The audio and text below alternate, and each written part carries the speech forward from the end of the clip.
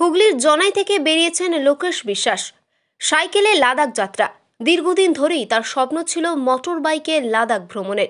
তবে অর্থের জোগাড় না থাকায় মোটর বাইক কেনা হয়নি। শেষ পর্যন্ত স্বপ্ন পূরণে সাইকেলই ভরসা হয়ে দাঁড়ায়। গত তিন দিন আগেই তিনি বাড়ি থেকে বেরিয়েছেন। পথে বিভিন্ন মানুষের সহযোগিতা তাকে আকৃষ্ট করেছে।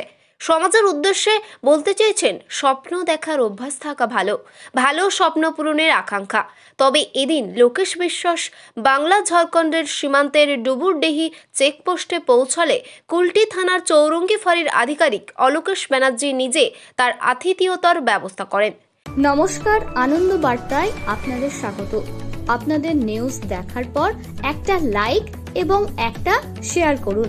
ভালো ভালো নিউজ দেখতে পেজটি লাইক করে দিন।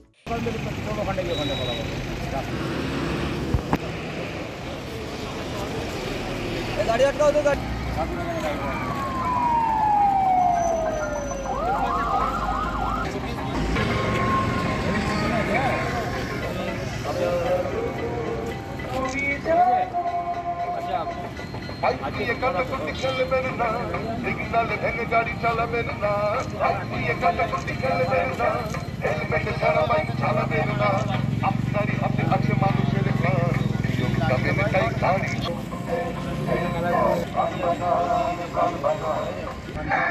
একই সাথে যাত্রাপথের জন্য রসদ হিসাবে পানীয় জল ও ফল মিষ্টি তুলে দেওয়া হয় লোকেশের হাতে।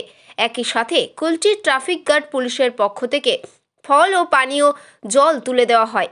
পাশাপাশি দুপুরের আহারাদির ব্যবস্থা সহ তার পর্যাপ্ত রেস্টের ব্যবস্থাও করা হয়।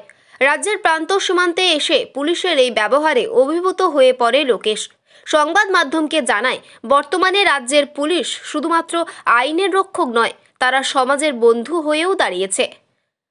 জনাই থেকে আসছি। বাড়ি থেকে বেরিয়েছি তিন দিন হবে আজকে।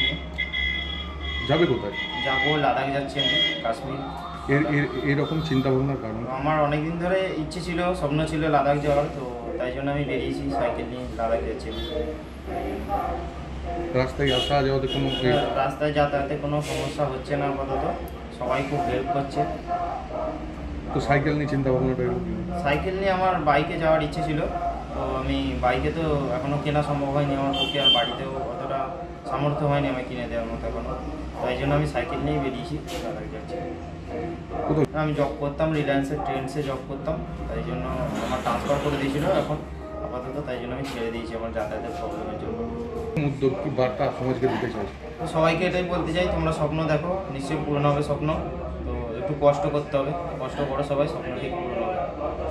এখানে দেখা গেল পুলিশের পক্ষ এখানকার পুলিশরা অনেকটাই আমার হেল্প করল। তো খুবই ভালো স্যারেরা। তো ওনারা আমাদের অনেক হেল্প করল তো খাবার টাবার অনেক কিছু কিনে এনে দিয়েছে দোকানে থাকতেও হচ্ছে।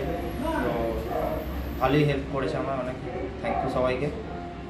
আসানসোল থেকে সৌমিত্র গাঙ্গুলির রিপোর্ট আনন্দ বার্তা